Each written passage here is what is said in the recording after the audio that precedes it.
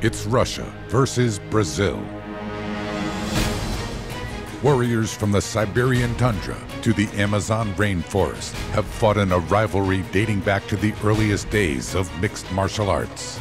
These battles have created MMA superstars, from Antonio Rodrigo Nogueira and Fedor Emelianenko in Pride, to world champions like Alexander Volkov, Alexander Shlemenko, and Eduardo Dantas. Unbelievable! The next chapter in this rivalry will be written as Tiger Sarnavskiy and Ricardo Tirloni step into the cage. I have a message for Tiger Sarnavskiy. It's a war with blood inside the cage.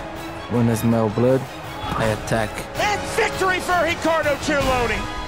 После боя с Терлони весь мир увидит все его тело и лицо. Во всем мире, что русские сильны. Tremendous victory for Tiger Sarnavskiy. Tonight, the stakes couldn't be any higher because both men know they are fighting for the honor of their countries. Bellator MMA live tonight at 9 Eastern, 8 Central, only on Spike.